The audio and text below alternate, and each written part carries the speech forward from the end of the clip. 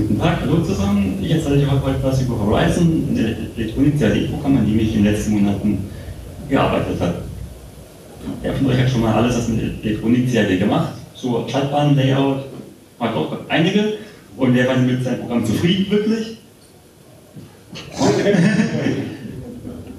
so nicht so arg viele, ich auch nicht. Deshalb habe ich mein eigenes gebaut. Jetzt fragt man sich erstmal, ja, warum? Wir haben 2017, Elektronik-CAD machen Menschen schon seit 30, 40 Jahren. Warum brauchen wir noch ein Programm? Weil ähm, von den Programmen, die es momentan gibt, insbesondere bei den kleinen Programmen, hat keines so wirklich meinen, meinen Wünschen an modernes CAD-Programm entsprochen. Deshalb lege ich Schwerpunkt jetzt bei Horizon auf der sinnvollen Verwaltung von Bauteilen, Symbolen etc äh, Rendering, das die Möglichkeiten von OpenGL3 nutzt. Einheitlicher Editor, das heißt praktisch ein Editor für Symbole, Packages und was man so sonst alles so braucht. Und dass die Information, das heißt die Konnektivität von Bauteilen aus der Netzliste kommt und nicht aus dem Schaltplan kommt. Was ist was Neues? Später mehr dazu. So, jetzt erstmal so ein paar Quickfacts zu Horizon. Horizon ist geschrieben in C++ 14. Das war noch nicht immer so. Die, so der erste Versuch war in Python geschrieben, weil Python einfach und so. Und das Rendering, Rendering war in C gemacht mit einer C-Extension in Python, wo die Daten halt mit JSON reingereicht wurden, war alles ziemlich hässlich. Die ging dann mal kaputt, als an der Stelle, wo eine Liste war, Tupel war und ein JSON hingefallen ist. Dann dachte ich, hm, nehmen wir C, weil echtes Software schreibt man in C. So, das, war dann, das war dann auch irgendwann, auch irgendwann lästig, als es darum ging, eine UUID durch G-Object durchzureichen. Dann habe ich auch keinen Bock mehr auf, auf C gehabt. Dachte, ja, gucken wir mal C++ an. Das erste Mal, dass ich was mit C++ gemacht habe und äh, top. Also kann ich jedem nur empfehlen. Es sind mittlerweile so ungefähr äh, 26.000 Zeilen. Also, so, also im Vergleich zu anderen äh, CAD-Programmen doch eher klein. Ähm, GUI wird gemacht mit, mit, GTK, mit GTK 3. Soll nicht allzu alt sein, weil ich ähm, die OpenGL-Fähigkeiten von GTK brauche. Ja, ganze Portal läuft äh, auf Linux und, und dank MinGW auch auf Windows. Sieht auf Windows zwar nicht aus wie eine Windows-Anwendung, weil der GTK überall gleich aussieht, aber es funktioniert und baut gleichermaßen. Das Datenformat ist JSON, weil muss man, muss man muss nicht Apple nachdenken und es gibt für C++ auch sehr schöne JSON-Libraries, die einem sehr viel abnehmen. Und alles ist, und alles ist mit UUIDs versehen, macht Dinge einfacher, muss man nicht fest nachdenken wenn man den ID für was braucht, der nötig ist, über UID generieren, zack, passt. Jetzt eine Liste von Dingen, die schon alle gehen. Wird noch, kommen wir später in der Demo ein bisschen schöner. Also ich kann schon, was man von so einem CAD-Programm macht, ich kann Symbole editieren, Schaltplan, Packages, also das bei das Board kommt, auch Basics-Packages, das Board selber kann ich auch schon ähm, Bordteile platzieren und booten so halbwegs. Ich kann Werbeteile exportieren, wenn man es auch später fertigen will. DXF importieren, um ähm, bei, bei, der Erstellung von Footprints die Dinge einfacher zu machen. Ich, ich, ich habe auch schon, auch schon DHC, was momentan äh, findet, äh, Leiterbahnbreiten, die so klein sind oder Abstände, die zu klein sind. Ein, ein Redo gibt es auch schon, ebenso wie eine Zwischenablage, die meistens funktioniert. Also das, was noch nicht tut, ist nicht konzeptionell, sondern muss man einfach noch machen, die was toll dazu bis jetzt. So, nun zum ersten Punkt, die Sache mit Libraries. Libraries, wie, man sie jetzt zum Beispiel von KiCad oder Eagle kennt, fand ich, waren immer irgendwie ein Riesenhaufen Chaos und war, war irgendwie eine Struktur war irgendwie so ein bisschen erkennbar, aber wenn es dann irgendwie mal spezielle Bauteile gab, war die Struktur nicht mehr erkennbar. Wiederverwenden war auch immer recht schwer möglich. Man hat irgendwie so eine Standard-Library, dann noch ein eigenes Projekt, macht seine eigenen Bauteile rein und dann, wenn man ein neues Projekt macht, muss man sie da ausprobieren. Ja, und auch die zu verwalten, hatten irgendwie eine Datei, da ist dann gleich eine ganze Menge an, zum Beispiel Symbolen drin. Und dann endet man ein Symbol oder, und dann kann es irgendwie recht schnell ähnliche Image-Konflikte geben. Was mich auch gestört hat, war, dass es keinen Bezug zu kaufbaren Wortteilen gab. Das heißt, wenn ich den Sport später fertigen lassen will oder, ein oder einkaufen will, die Bauteile, muss ich jedem Bauteil raussuchen, was ist es eigentlich genau. Und schön, wenn es praktisch eine Library drin wäre, einfach sagt, ich nehme jetzt dieses Bauteil hier und kann es dann auch so bei Digity kaufen. So, bei Horizon gibt es keine Libraries, das ist einfach alles in einem äh, Pool drin. Äh, dieser, dieser Pool liegt momentan auf GitHub. Mal, man ist dran nicht verpflichtet, den zu nehmen, aber es wäre schön. wenn alles reinkommt. Alles ist eine eigene JSON-Datei, das heißt, ähm, man kriegt äh, weniger häufig Merchant-Effekte, im Idealfall gar keine, wenn man nicht gerade am, am selben was umbaut. Und, man, und da drin sind Bauteile, die man wirklich kaufen kann, das heißt ein Bauteil mit Hersteller, Herstellerteilnummer. So. Das, ist, das ist, wie der Pool aussieht. Man hat als oberstes Element ein Part, wirklich ein Bauteil, das ich kaufen kann. Das ist zudem erstmal mehr. Einen Part haben wir identifiziert durch Hersteller und Herstellerteilnummer. Das heißt jetzt zum Beispiel, der einen äh, 74H1004 wäre kein Part, bestenfalls einen Part von anderen Parts erben könnten, zum Beispiel ein Part der zum Beispiel einen SN74HC00D von TI. Das wäre jetzt ein Part, das kann ich einfach kaufen und kriegt damit genau, genau immer dasselbe Wort ein. Dann hat ein Part von Wertkarten, wie jetzt Kondensatoren, Widerständen, einfach Kapazität oder Widerstand. Weiter kann ich noch parametrische Daten angeben, das sind recht frei, einfach JSON, wo ich dann daraus reinschreiben kann, die Spannungsfestheit oder Belastbarkeit, dass ich dann später eine parametrische Suche haben kann. Das Ganze wird noch ein bisschen sortiert über Tags, was man auch in eurem Booster findet. Und weiterhin ist in dem Part die Zuordnung von den ähm, Anschlüssen der Entity zu den wirklichen Pads, die man bis dann auch in echten Welt hat. So, nun zur Repräsentation vom Part auf dem Board in Form eines Packages. Package ist dann also der, eben das Gehäuse vom Bauteil mit den, mit Anschlüssen und, und, weiterhin, und weiterhin noch Dinge wie Silkscreen, Chordblatt, um Abschnitt zu überprüfen, Gehäuse-Outline und was jetzt noch nicht aber bald kommt, ist, die, ist das Assembly Layer, dass man auch sich ähm, Zeichnungen äh, fürs äh, zum Zukunft exportieren kann. Ähm, jedes von diesen Pads hier ist nicht, ist, nicht ein, ist nicht ein Pad, wo ich einfach angebe, das ist so groß, rechteckig und hat, hat diese Layers, sondern jedes Pad einzeln gezeichnet. Das, das nennt sich dann Pad Stack. Und Pad referenziert dann immer einen Pad Stack. Ein Pad Stack ist eine Sammlung von geometrischen Elementen, auch verschiedenen Layern. Jetzt zum Beispiel einfach Kupferlayer, halt oben, unten, innen, Bischofmaske, Löcher, halt alles, was man eben braucht, um ein Pad zu machen. Dann sind nämlich auch ganz einfach beliebige, komplexe Pad-Geometrie möglich, was in manchen anderen Programmen irgendwie nur mit Basteln möglich ist.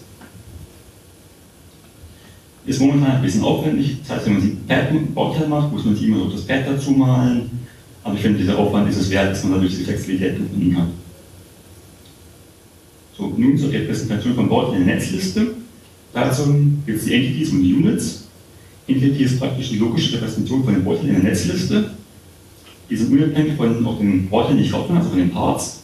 Also zum Beispiel, wenn ich jetzt einen, äh, einen vierfachen NAND-Gatter habe, gibt es dafür eine Entity, das NAND-Gatter dann später CMOS, TTL oder was immer ist, in welchem Voice es ist, ist der Entity ziemlich egal, da ist ja die Netzliste alles selber dann später ganze Entity hat dann eben Namen, Prefix, der dann im Chat dann vorne dran steht und hat verschiedene Gates. Also jetzt bin Louis recht einfach einen verschiedenen Gatter, jetzt ABC zum Beispiel und noch äh, ein Supply. Eine Gatter hat Namen, Suffix und noch eine Swap Group, um äh, noch später mal einzelne Gatter tauschen zu können, um eher zu vereinfachen. Die Gatter referenziert eine Unit. Units sind praktisch das, was anderorts halt leider Gatter heißt, also praktisch das einzelne Gatter, das Gatter definiert selber einen Vorteil.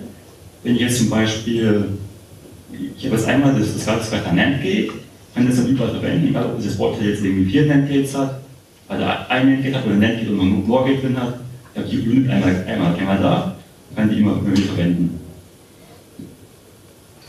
Hat noch Pins, um was anzuschließen, identifiziert durch Name, Richtung und wieder Swap Group, um dann noch Pins swappen zu können. Und eine PIN kann auch mehrere Namen haben, das sinnvoll für Mikrocontroller. Äh, Pins teilweise eine große Anzahl von Funktionen und kann man so einen PIN mehrere Namen, die man dann auswählen, wie, wie, wie der PIN heißen sollte. Nur noch zu guter Letzt. Oh, so nicht mehr. Ah, schade.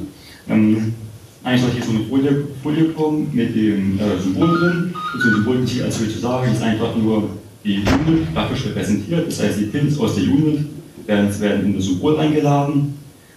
Und Ich werde mal später in der Demo sehen, wie so ein Produkt genau ausschaut.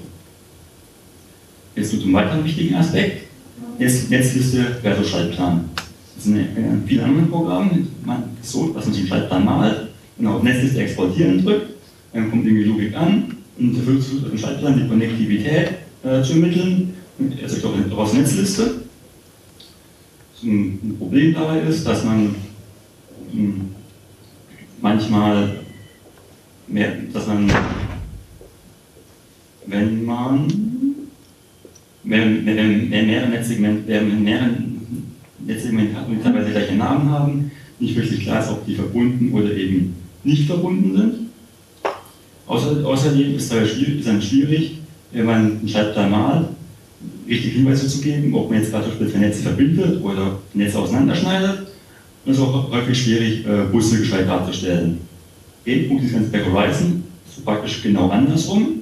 Das heißt, während ich meinen Schaltplan mal, die Netzliste aktualisiert und der Schaltplan wieder, wenn die Operation fertig ist, aus der Netzliste aktualisiert. Das heißt, die Netze, die ich im Schaltplan sehe, die Netze aus der Netzliste. Das heißt, wenn ich einen Fehler mache, würde ich ihn gleich sehen, weil was mir also mein Schaltplan anzeigt, ist, was die Netzliste beinhaltet.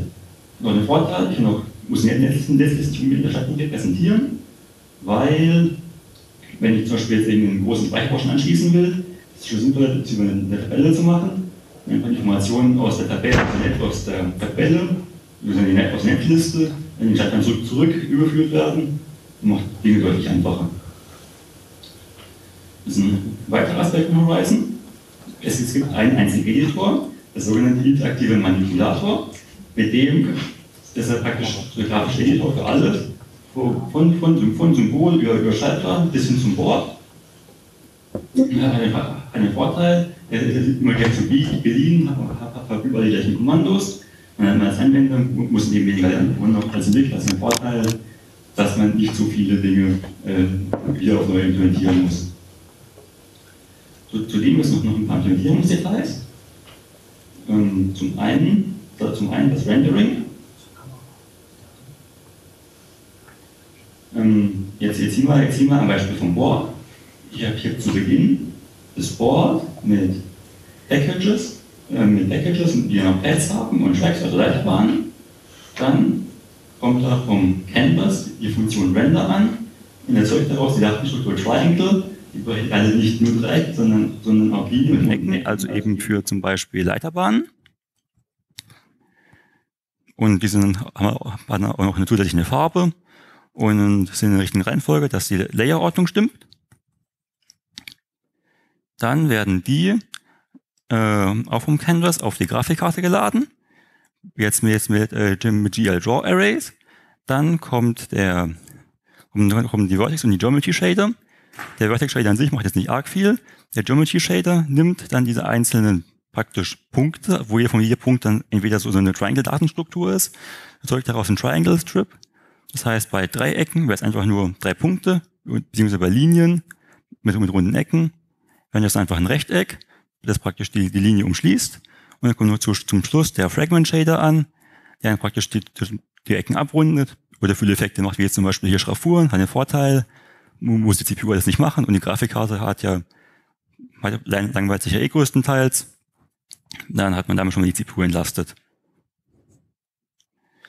Damit man auch noch ein bisschen Art von Interaktivität hat, weil bis jetzt hat man einfach nur ein Bild, mit dem man nichts machen kann, fallen, fallen aus der Render-Funktion auch noch sogenannte Select Selectables raus, also praktisch Rechtecke, mit denen ich Dinge auswählen kann. Wäre, wäre dann, wäre dann zum Beispiel, ist einfach jetzt, jetzt wie hier so ein, so ein Kasten mit einem Punkt in der Mitte, wenn man anzeigt, da kann ich was auswählen und auch, auch auswählen kann. Und Targets, auf denen der Mauszeiger einrasten kann. Das heißt, wenn ich jetzt irgend, wenn ich jetzt zum Beispiel was verbinden will, rastet der Mauszeiger auf den Pin ein, dass ich auch wirklich den Pin erwische. Nun, ein weiterer Aspekt von dem interaktiven Manipulator sind die Tools. Die, die Tools brauche ich, für, brauche ich für alles, um jetzt, um jetzt was zu bearbeiten. Jetzt sehen wir, jetzt sehen wir ähm, am Beispiel vom Schaltplan. Die Tools können jetzt beispielsweise zum Beispiel Tools sein zum Dinge verschieben oder Tool zum Malen von Netzlinien. Wenn ein Tool gestartet wird, erhält ähm, Eingaben aus dem Canvas. Das heißt, wenn ich meine Maus bewege oder was anklicke etc. oder eine Taste drücke, kommt das das Tool mit, kann dann da, da auch rausfinden, was machen muss. Jetzt zum Beispiel Schaltplan und Netzliste entsprechend modifizieren. Und dann werden die Änderungen zurück ins Canvas propagiert. Das rendert es dann nochmal neu. Und wenn ich sehe, was ich getan habe. Wenn, äh, wenn, ich, wenn ich fertig bin, äh, wird, wird ein Commit durchgeführt. Das heißt, die aktuelle Arbeitskopie, in der ich gerade gearbeitet habe, wird auf, den, wird auf die Hauptkopie geschrieben und das Ganze eben, ebenso für Netzliste. Das hat einen Vorteil, wenn ich jetzt irgendwas, meine Aktion abbrechen will, ist es nicht schwer, ich muss einfach praktisch das Ganze andersrum machen. Das heißt, ich muss einfach die, die Arbeitskopie setzen durch die andere Kopie und genau. Wenn ich dann, wenn ich das dann gemacht habe, kommt der Rebuild-Prozess. Das ist dann eben der Prozess, aus dem der Schaltplan aus der Netliste aktualisiert wird. Das heißt, der Schaltplan an sich beinhaltet keine Netznamen oder ähnliches. Die werden dann im Rebuild-Prozess aus der Netzliste in den Schaltplan überführt, dass eben der Schaltplan immer das repräsentiert, was ich in der Netzliste sehe. Nun zu, nun zu dem, wo ich gerade am Entwickeln dran bin, beziehungsweise was vielleicht in, in der Zukunft noch, noch kommen könnte. Moment, momentan bin, bin ich, bin ich gerade dran, ähm, das, das DAC auszubauen, dass es ein bisschen mehr kann als ein Abstände checken, sondern jetzt zum Beispiel auch Abstände, Abstände checken zwischen äh, Lötstoppmaske und ähm, zwischen, nee, zwischen äh, Kupfer, äh, zwischen freiem Kupfer und Silkscreen, dass, dass es da keine Probleme geben kann. Noch, noch ein, äh, paar Dinge, noch ein bisschen wenn Netzklassen aufräumen, weil die sind momentan nicht so schön implementiert. Wenn, wie schon eben angesprochen, äh, noch die noch die Layer erweitern, dass ich auch, dass ich auch ähm, äh, Bestückungspläne erstellen kann und, und ebenso ähm, eine äh, Maske, äh, ein Layer für äh, Lötpaste, dass man auch später Stencil, Stencils draus machen kann. Und ein wichtiges Feature, was mir momentan noch fehlt, ist, dass ich Kupferflächen füllen kann. Das ist, ist noch ein bisschen aufwendiger wegen der ganzen, ganzen Geometrie-Operationen dafür. Jetzt noch so Dinge, die in ferner Zukunft, ferner Zukunft noch kommen. Wäre zum, zum einen ein ERC, dass ich also checken kann, dass ich jetzt keine Ausgänge miteinander verbunden habe. Und, und so Dinge, die, die halt nett zu haben sind, wie jetzt zum Beispiel 3D-Export und Darstellung. Besonders wichtig ähm, ist eigentlich hier der, der letzte Punkt. Die Integration vom Keycard, vom Keycard-Router, von dem interaktiven Router, weil der ist wirklich sehr gut. Da, ähm, da wurde auch, auch sehr viel Energie reingesteckt. Und er ist glücklicherweise äh, so aufgebaut, dass er sein eigenes Datenmodell hat. Das heißt, nicht mit Kika selber arg, verwoben ist. Das heißt, ähm, dass es ähm, machbar ist, den auch an, auch an, auch an andere CAD-Programme anzuflanschen. Hat, hat den Vorteil, dass man nicht, die ganze nicht mehr noch neu machen muss und einfach darauf aufbauen kann. Bei ein Features gibt es auch Dinge, die ich nicht in Horizon sehen will. Dazu, dazu zählt zum einen Simulation, sprich, sprich Spice, weil die Schaltung, die man am Ende auf dem Board hat, hat in der Regel mit dem, was man simulieren will, recht wenig zu tun. Wir sind Simulationen will man häufig Vereinfachungen treffen, zum Beispiel Spannungsregel durch echte Spannungsquellen ersetzen und andere Dinge. Und, ähm, und, und wir haben auch IT-Spice, das ist meines Erachtens nach gut, gut genug für alles und uns, uns lohnt sich nicht, da jetzt noch irgendwas anderes zu bauen. Ebenso ähm, finde ebenso einen, finde ich jetzt ein Autorouter momentan nicht wirklich wünschenswert, weil ein Autorouter ist sehr viel Aufwand gescheit zu bauen und den Aufwand steckt man, steckt man, steckt man in andere Dinge. Aber sonst denken Leute immer bei Autorouter, ach, macht der Autorouter mein ganzes Board automatisch. Die Erwartungen will ich nicht wecken. So, Horizon, Horizon ist Open Source, gibt's auf GitHub. Wenn jemand mitmachen will, ganz einfach Issue, Issue aufmachen, Pull Request stellen und hoffen und Issue aufmachen, praktisch diskutieren, das, das Feature, das, das man haben will, ein Pull Request stellen, um das Feature noch zu mergen. So, wäre alles, jetzt ist alles schön und gut, aber wie das Ganze eigentlich wirklich aus? Jetzt mal kurz aufmachen.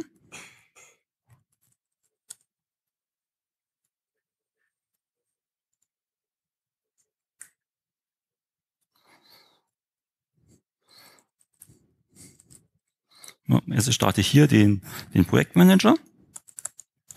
Der, der sieht so aus. Das, der, der ist dazu da, dass man irgendwas hat, wo man drauf doppelklicken kann und ich den interaktiven Manipulator von Hand starten muss. Mache ich, mache ich hier ein neues Projekt zum Testen. Äh, gpn-demo. Da kommt noch sich ein schöner Titel. Und mal in TMP. Drücke ich auf Create. Oh, das stimmt, das habe ich schon gemacht. So, jetzt habe ich hier, habe ich ein erstes Projekt. Haben wir, haben wir ähm, entweder das Schematic Board und den Part Browser. Fange ich mal das Schematic auf. Sieht man jetzt hier ein, ein leeres Schaltplanblatt. Was ich jetzt als erstes mal machen will, ist ein Part platzieren. Dazu kann ich entweder hier auf Place Part drücken oder kann aus dem Projektmanager den Part Browser bemühen. Dann bekomme ich hier äh, diesen, den Browser, mit dem ich die Liste an Parts durchsuchen kann. Ähm, das kommt jetzt nicht gleich aus den JSON-Dateien, sondern die JSON-Dateien werden von von einem Programm in eine SQLite-Datenbank überführt, dass ich da eben auch, eben auch beginnen und suchen kann. Nehme ich jetzt mal, äh, nehme ich jetzt mal als Beispielpart hier zum Beispiel einen, ähm, irgendeinen, äh, einen äh, 7-4er Gatter. Jetzt äh, fragt mich äh, der Manipulator, welches von den, welches von den Symbolen ich hinzufügen will. Fange jetzt mal mit dem Symbol A an. Jetzt habe ich hier an, an der Maus einen einen, ähm, eben, eben das Symbol kleben. Jetzt habe ich in der Netzliste schon ähm, die ganze Entity mit, mit allen Gates drin. Ich habe ich hab das Symbol noch im Schaltplan drin. Dann ähm, kann, ich, kann ich jetzt hier das, das Tool verwenden. Ähm, ähm, äh, Place Symbol, mit dem ich praktisch ein Symbol, das schon in der Netzliste gibt, auch in den Schaltplan holen kann. Kann ich sowieso noch das B-Symbol und nochmal das Symbol äh, für, die, für die Power.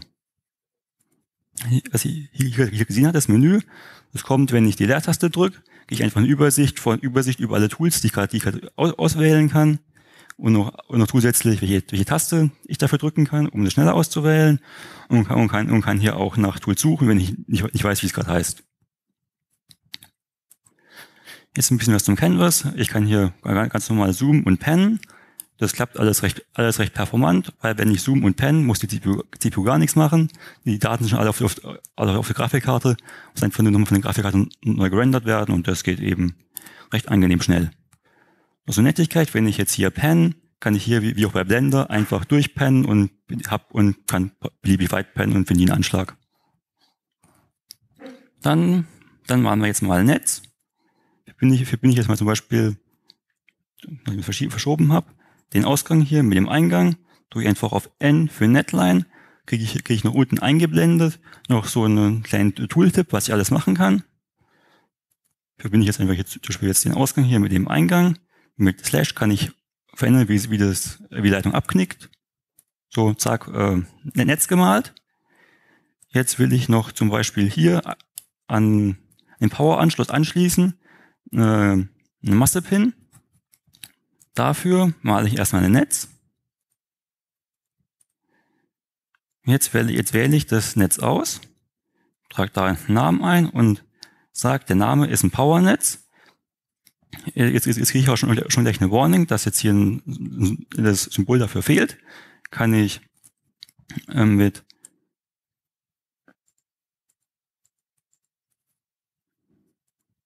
hm, GND Genau. Kann ich jetzt hier ähm, einfach ähm, mit O wie O wie Power, weil P war schon etwas anderes belegt, ein, ein Master-Symbol platzieren, habe jetzt ein Master-Symbol. Also, also wie, wie, man sieht, man, man, man, man, kann, man kann schon Chatpanel, man kann schon Chatpanel damit malen. Ich kann hier, hier oben auch nochmal auch mal ein Netz dran malen. Dann noch ein Label dran setzen. Das hat jetzt noch keinen Namen. Trage jetzt meinetwegen hier plus 5 Volt ein. Und jetzt habe ich hier ein Netz. Wenn ich jetzt zum Beispiel hier dieses Netz, diesem Netz, diesem Netz verbinden will, mit einem Label, dann bin ich nicht einfach das Netz hier um, weil das ja momentan ein neues Netz. Stattdessen wähle, wähle ich das Tool aus mit einem etwas schwierigen Namen, ähm, Move Net Segment to Other Net. Das bedeutet jetzt, dass alle Pins, die mit diesem Netzsegment, sprich mit dieser Linie verbunden sind, mit dem anderen Netz verbunden werden und ihre aktuelle Verbindung verlieren. Gehe ich in die Liste von wähle jetzt das Netz plus ein Volt aus und zack, ist verbunden. So, jetzt habe ich mal irgend so ein bisschen, bisschen was, auf, bisschen was im Schaltplan drin. Mache ich noch ein mehr, ein Part mehr. Jetzt hier noch irgendein Kondensator mit 100 Nano Fahrrad und nur 603 als Package. Kann jetzt, kann ich jetzt hier auch noch, auch noch anschließen. Einmal Power-Symbol für, für Masse und jetzt noch mit den plus 5 Volt ver verbinden. Jetzt wollen wir noch Namen vergeben. Dazu drücke ich auf, auf Annotate. Annotate, zack, habe ich Namen. Drücke ich auf Speichern, wird auch die Netzliste mitgespeichert.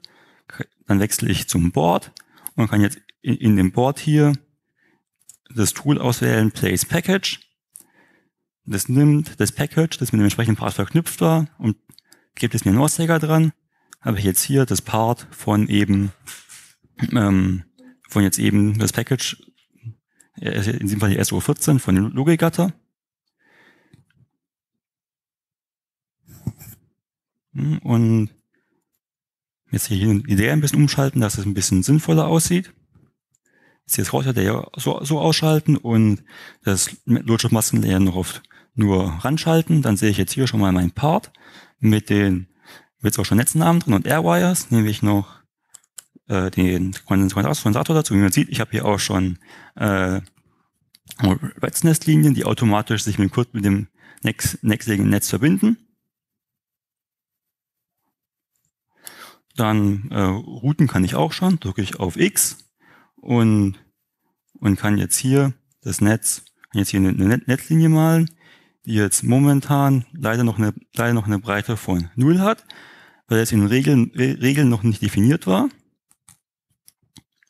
also ich die Regel noch nicht angewendet habe. Und jetzt habe ich hier eine, eine entsprechende, die entsprechende Breite. In Regeln habe ich weiterhin noch, noch eine Clearance. Also kann ich jetzt hier Clearance-Regeln angeben mit praktisch ersten Netz, zweiten Netz und auf welchem Layer das Ganze gelten soll.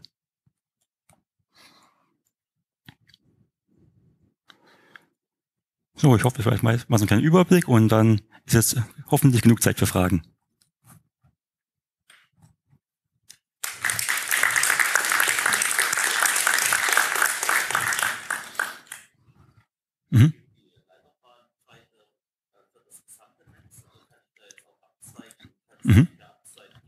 Äh, ja, das geht.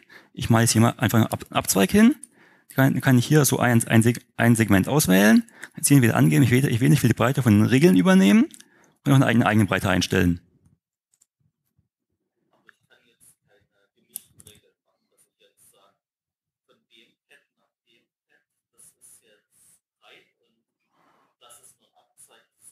Äh, nee, das geht momentan nicht. Äh, ja, sorry. Die, die Frage war, ob ich auch ähm, Re Regeln erstellen kann für einzelne Track-Segmente.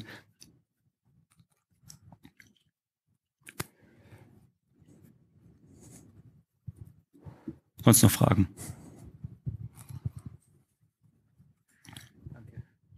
Ja, ähm, ein paar Fragen mhm. sogar. Mhm.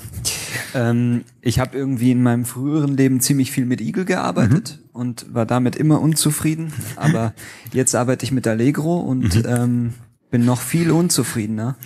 und und ein Grund für diese Unzufriedenheit ist tatsächlich der Pad-Stack-Editor, mhm. weil der ähm, schlicht und ergreifend nervt. Also wenn ich ähm, sozusagen einfach schnell ein mhm. Pad äh, oder oder meinetwegen mhm. ähm, ich muss einfach aus verschiedenen Gründen, beispielsweise weil ähm, die Bestückung irgendwie anders ist, muss ich das Verhältnis von, sagen wir mal, Stop oder oder von, von mhm. Lötschablone mhm. zur Pad-Größe muss ich ändern. Da muss ich bei Allegro mit einem bestimmten Tool, was dann alle Pads durchsucht und alle Pads dann irgendwie ändert, äh, jedes einzelne Pad verändern, wenn es blöd läuft, mhm. manuell um diese Regel zu ändern. Mhm. Und ähm, deswegen hätte ich so eine kleine Anregung, nämlich dass man wenigstens vielleicht über ein externes Tool oder ich, ich weiß nicht, wie mhm. du es dir vorstellst, aber wenigstens die Möglichkeit bietet, einzelne Pads, einzelne Grundformen, meinetwegen ähm, rechteckig, dann parametrisiert zu erstellen, direkt während mhm. man das Symbol erstellt. Ähm, ja, genau sowas ähnliches war auch schon geplant. Mhm. Ist jetzt ein bisschen anders. Die Idee war, dass man mit, jetzt genau muss man überlegen, entweder mit, mit irgendeiner kleinen Skriptsprache oder so, ähm, auf einen, wenn das Package auf dem Board ist, auf die Pads Operationen anwenden kann, die einen praktisch Parameter vom Board kriegen, zum Beispiel Abstand zwischen, zwischen Pad und Lötstoffmaske. Dann wird modifiziert dieses, dieses Skript, dann eben die Abstände, die Abstände von, von jetzt Pad und Lötstoffmaske eben. Dass man das parametrierbar hat und nicht dieser Abstand schon fest, schon fest in die Library reingebacken ist. Mhm. Und ähm, dann habe ich nur noch eine kleine mhm. andere Frage und zwar, ähm, wie ist denn jetzt die GUI implementiert? Ich, äh, ich sehe es nicht ganz. Äh, ja, die GUI, das ist alles GTK. Ah ja. Die, das, das Rendering hier innen drin, es ist, ist alles eine GTK GL Area, die es ja GTK noch nicht allzu, allzu lange gibt. Das ist das Rendering, wie, wie beschrieben, wie beschrieben, mhm. gehe ich mit OpenGL und die GUI drumherum, die ist einfach äh, GTK, manches ist mit, manches ist mit Late gemacht, manches ist halt einfach programmatisch hinzugefügt. Mhm. Und äh, hattest du auch überlegt oder in Betracht gezogen, überhaupt das vielleicht browserbasiert zu machen? Überhaupt nicht. Okay. Nee, weil für die Browser ist dafür einfach die vollkommen falsche Plattform. Und GUIs mit Late zu machen ist einfach viel zu viel bequemer als irgendwie mit mhm. HTML und JavaScript. Also mhm. Browser war für mich nie eine Option. Gar okay. nicht, wirklich nie. Gut, danke. Weil CAD-Browser einfach nein.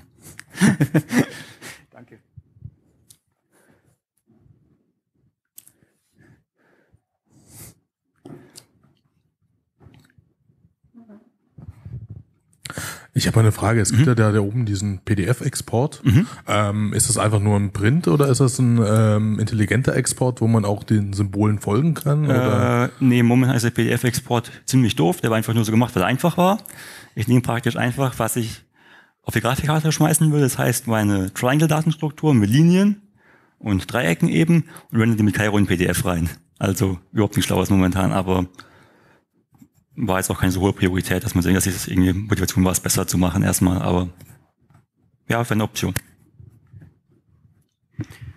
Ja, noch eine kurze Frage. Mhm. Gibt es auch Pläne für differenzielle, äh, differenzielle Leitungen oder ähm, impedanzangepasste Leitungen, also Richtung Layout? Mhm, ähm, differenzielle Leitungen, die kommen hoffentlich, wenn ich den Gigarouter eingebaut habe, weil keine differenzielle Leitungen.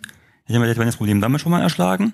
Und, und impedanzangepasste Leitungen, gehen, gehen, ja, gehen, gehen ja schon beinahe jetzt, weil ich kann ja praktisch für eine Leitung kann ich in Regeln angeben, wie, wie breit sie sein soll, jetzt hier für Single-Ended-Leitungen und wie, wie groß Abstand sein soll. Also in gewiss, also also so Single-Ended würde schon so halbwegs gehen. Okay, jo, danke.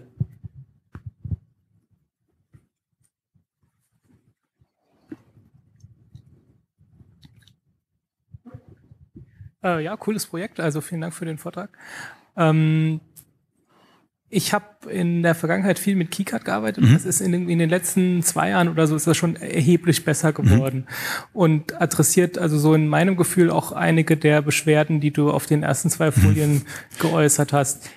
Ähm, warum hast du dich dafür entschieden, ein neues Projekt anzufangen, anstatt die Schwächen, die KeyCard im Moment hat, ähm, dort zu verbessern? Ja, die, die Frage habe ich gerechnet. Das habe ich mir gedacht, deshalb äh, habe ich versucht, sie äh, gemäßigt zu formulieren. Ähm, ja. Hm. Also eine Sache war, die, die mich gestört hat, war, dass fand ich momentan der Fokus von Entwicklung ein bisschen nicht praktisch nicht da ist, wo ich, wo ich ihn sehen möchte. Zum Beispiel das, das, Layout ist mittlerweile ist wirklich sehr, sehr gut geworden, seitdem Sterner dran gearbeitet hat, aber der Schaltplan ist, finde ich, immer noch fürchterlich, dass man einfach in, 2016, in 2017 Schaltplan hat, der, der, beim, der beim Zoom und Pen laggt und beim Verschieben von Wort einen Grafikfehler macht. Ja, eben. Und das war ich auch so, auch so einer meiner ersten Schwerpunkte, einen Schaltplan-Editor zu machen. Und halt auch viele Dinge, die werden praktisch mit so großen Umbauten verbunden, wie zum Beispiel, dass der Schaltplan-Editor in KeyCard mehrere Seiten pro Hierarchieebene kann ja, denke ich mal, schon eine recht große Umbau konzeptionell. Ebenso, ebenso wie das Library-System. Da, da hatte ich so gesehen, dass es eigentlich einfach, einfacher ist, praktisch äh, mal, mal frisch von vorne anzufangen und eine Codebasis hat, die nicht C++ von vor 20 Jahren noch beinhaltet, mit Dingen, die man vor 20 Jahren für gut befunden hat. Und eben auch eine, eine Rendering zu machen mit OpenGL 3. KiCad nimmt ja auch OpenGL, aber halt eben das alte OpenGL 2, was immer noch funktionieren wird, aber jetzt nicht dem entspricht, was, was, heutzutage, was heutzutage äh, Grafikkarten sind. Du renderst ja da nicht viel. Du, du, renderst, du renderst ja da nicht viel. Du renderst irgendwie ein paar tausend oder ein paar zehntausend Dreiecke. Also ich meine, das wird jetzt ähm, die Grafikkarte nicht überfordern, nur weil du irgendwie den Standard von vor drei Jahren benutzt. Ja, aber ich, ich, ich wollte es einfach einmal schön machen. Ja, okay. Ja. Nee, nee, und, ist das, und, und, und, und, war, war, so, war auch so ein bisschen so, wie man es denken kann, so äh, Spieltrieb dabei. Ich man hatte schon die Idee ein bisschen, ein bisschen länger im Kopf gehabt. Und ja. Okay, vielen Dank. Jetzt als, sagen wir mal, Privatanwender, was hast du als Usability-Features noch vor? Ich habe jetzt gesehen, Symbole setzen auf dem Schaltplan ist sehr, sehr, sagen wir mal, zeitaufwendig, weil ich immer alle Subsymbole einzeln setzen muss. Ist da irgendwas in Aussicht, was du vorhast, oder ist es dir gerade nicht so wichtig? Ja, das, ähm, das kommt drauf an, wenn ich, wenn mich irgendjemand mal darauf anspricht und wirklich sagt, es mich nervt gerade momentan furchtbar, dann, dann, äh, dann wird's, dann, dann baue ich es um. Momentan ist es halt so, ich, ich baue, ich baue gerade momentan so die Dinge ein, die mich gerade, die mich gerade am meisten stören. Und mo- momentan bin ich, liegt mein Schwerpunkt Entwicklung mehr so im Bereich von Board und ERC. Und, und Schaltplan ist jetzt momentan nicht so der Schwerpunkt, aber viele von den Änderungen sind teilweise wirklich recht einfach. Und ich bin jetzt einfach zu voll dazu. Aber, aber jetzt zum Beispiel Symbole platzieren ist jetzt, wenn ich einen Part habe, das nur ein Symbol ist, der ist schon ein Widerstand, gehe einfach auf Place Part, gebe jetzt hier meinetwegen C ein mit, mit irgendwie 47 Nano Fahrrad, Doppelklick drauf, zack, habe ich das Symbol drin. Ist ja nur, nur eben ein bisschen umständlicher bei Parts mit mehreren Symbolen, aber das kann ein- kann auch einfach besser werden.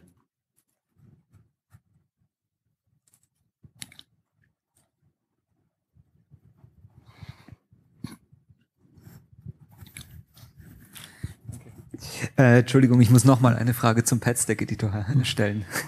ähm, und zwar, äh, wenn man beispielsweise Bonding-Areas für Chip ähm, erstellen möchte, dann ist es wichtig, dass man ähm, viele Pads gleichzeitig editiert auf einer Fläche. Also ich will beispielsweise eines vergrößern und deshalb muss das andere verkleinert werden. Oder ich habe eine komplexe Shape und ich muss ein Pad irgendwo einpassen. Ähm, bei Allegro geht das nicht. Also bei Allegro muss man dann irgendwie selbst einen Workaround zusammenfrickeln. Oder man designt in einem anderen Tool und übernimmt dann die Maße oder so. Es ist eine Katastrophe. Ähm, hast du da eine Strategie? Warte mal, was meinst du jetzt so genau? Ich habe gerade nicht so ganz verstanden, was du, was du erreichen willst. Also ich, nehm- ich habe einfach eine komplexe Anordnung von, von Pads in einem Symbol. Beispielsweise ist ein Pad in irgendeiner Weise embedded in einem anderen. Und dieses Pad muss ich jetzt vergrößern aus irgendwelchen Gründen. Dann muss ich das äh, Loch in dem anderen Pad verkleinern. Und wenn ich die jetzt nicht gleichzeitig editieren kann, dann muss ich die Symbole sequenziell immer öffnen und schließen, öffnen und schließen, checken, ob es funktioniert, das Part neu erstellen und so weiter. Also schrecklich. Und gerade wenn man also Chips, also wenn man wenn man Chips designt, dann dann macht man sowas ständig, weil man diese Bond Places braucht. Und ähm, da kann sowas Wochen kosten plötzlich. Und äh, deswegen wäre das gut, sozusagen die Möglichkeit zu haben, in irgendeiner Ebene ähm, mehrere Pads gleichzeitig zu editieren. Äh, beziehungsweise ähm, ein Pad an sich im Package hat bis hat eigentlich bis auf Pos- Position und Rotation keine Attribute. Es kommt alles aus dem Pad-Stack raus. Und Pad-Stacks kann ich, kann ich einfach so viele Editoren aufmachen, wie ich will. Und sind dann praktisch auch referenziert. Das heißt, wenn ich das, wenn ich das ähm, Pad speichere und dann das Package auf und zu mache, zu und aufmache, dann ist es, ist es, ist das neue, neue, Pad-Stack auch drin. Aber jetzt so ähm, Horizon richtet sich mehr so an ähm, Hobbyist bis semi- semi-professionelle und da machen ja, denke ich mal, die wenigsten so Chip- und Board-Technologien.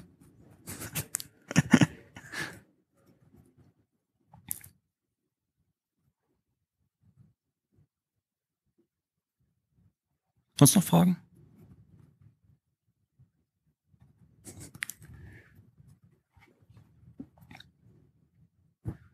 Und zwar geht's um die äh, parametrische oder prozedurale äh, Bearbeitung. Also ich würde mir gerne mal wünschen, dass es sowas gibt, zum Beispiel für Stiftleisten oder irgendwelche IC-Packages, dass man einfach nur Parameter hat, wie zum Beispiel der Abstand ist so und dann so viele Pins. Und da gibt's halt nur das eine Bauteil, was eben sozusagen relativ intelligent gestaltet ist. Und das wird dann halt einfach angepasst da drin, wenn man den Parameter ändert. Ist sowas vorgesehen? Ja, es wäre so gewissermaßen denkbar mit dieser Sache, die ich da eben angesprochen hatte, dass ich praktisch, ähm, wenn ich einen Part praktisch in, in ein Package in, in, ins Board lade, dass das Package dann von dem Skript angepasst werden kann. Das wäre dann zum Beispiel damit machbar und diese Parameter können eben aus dem Part kommen. Das heißt, ich habe einmal ein generisches Package, das jetzt irgendwie Pinleiste 1 mal x ist und dann, wenn ich jetzt einen Part anlege, das jetzt zum Beispiel irgendwie Pinleiste 1 mal 40 von einem bestimmten Hersteller ist, können Sie dieses Part den Package-Parameter mitgeben, 40 Pins, Rastermaß 2,5 Millimeter. Aber ich brauche halt für jedes praktisch äh, Part, also ich auf dem Board habe, brauche ich auch einen Part in dem, in dem Pool drin, dass ich einfach, einfach Bomben exportieren kann, sofort weiß, was ich kaufen muss. Okay, also das wären dann wie einzelne Parts, die dann am Ende entstehen. Genau, ich würde, klar, ich würde praktisch nur einmal ein Package haben, das praktisch Okay. generisch ist, und dann halt eben für praktisch für jede Variation ein eigenes Part. Okay. Dass das dann immer neu erzeugt wird für jeden einzelnen Teil. Genau, weil parametrische Parts kann man leider nicht kaufen. Okay. Dann noch eine andere Frage. ähm, hattest du auch drüber nachgedacht, ähm, Array-Notationen für Leitungsnamen zu verwenden beispielsweise? Also wenn ich einen 8-Bit-Bus habe, dass ich den dann wie ein Array benennen kann und dann in einer Leitung tatsächlich acht Leitungen Ähm, stecken? Mm, Das ist jetzt nicht so, aber ich, ich habe ich hab praktisch Busse. Ähm, also mit dem Hintergedanken, dass man eigentlich so heutzutage die meisten Busse nicht so parallele Busse sind, sondern mehr sowas wie Espressi oder so, die man mal zeigen. kann jetzt hier meinen einen Bus anlegen, den zum Beispiel nennen i Quad, i Quadrat c main. Die kann jetzt einfach einen Member geben SDA, Netzname setzen und noch einen Member SCL und auch einen Netzname setzen. Dann habe ich einen Bus angelegt. Jetzt kann ich- jetzt hier mit U einen Buslabel platzieren. Jetzt kann ich an dem Buslabel eine Leitung malen. Dann habe ich jetzt hier einen Bus. Dann kann ich da einen Bus Ripper dran setzen, mit dem ich dann aus dem Bus die einzelnen Netze rausziehen kann. Und habe dann jetzt hier meine Netze für jetzt eben SDA und SCL, die dann auch gleich ähm, entsprechend heißen. Nice. Ja, und man hat wirklich, wirklich einen Bus, der weiß, was gehört zu mir und nicht einen Bus, der einfach nur ein Bild ist. Und praktisch das, die Zuordnung eigentlich nur über die Netznamen geht. Heißt, heißt die praktisch, heißt diese Labels hier, wenn es über, auch über, eigentlich auch überflüssig, weil es nur zur Demo dran. Aber praktisch das Netz hier, wenn ich es auch auswähle, weiß es trotzdem, es ist das Netz aus diesem Bus. Sehr cool. Auch, eine, auch, noch so eine, auch noch so eine Sache, wenn ich jetzt hier zwei Netze verbinde, habe ich zum Beispiel ein Netz A, hier, jetzt hier, hier Netz B, sagt mir, sagt mir hier zuerst, ich habe hier ein Netzsegment, von dem Netz, das hat einen Namen, aber hat kein Label dran. So also Netz mit, so Netz, so Netz mit Namen könnte ja mit einem anderen Netz verbunden sein, durch, durch, durch den Namen eben. Da kriege ich hier die Warning, dass das Label fehlt. Weil so könnte ich ja praktisch eine Verbindung haben, die zwar da ist, in Netzliste, aber ich im Schaltplan nicht sehe. Mache ich hier das Label dran und dann ist die Warning weg. Zum Beispiel das Netz hier mit ähm, eben dem Netz hier verbinden will, ähm, merkt es Horizon, weil, weil, weil, weil, weil ich weiß, die, diese Linie hier gehört zu dem Netz, die andere Linie gehört zum anderen Netz, fragt mich, wie ich jetzt die, die, Netze verbinden möchte, ob ich jetzt, wie ich praktisch welches Netz, welches Netz, welches Netz jetzt aufgehen soll.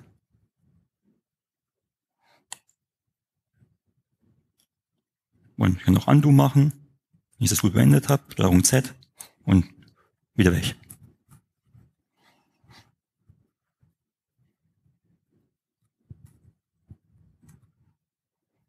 Dann vielen Dank.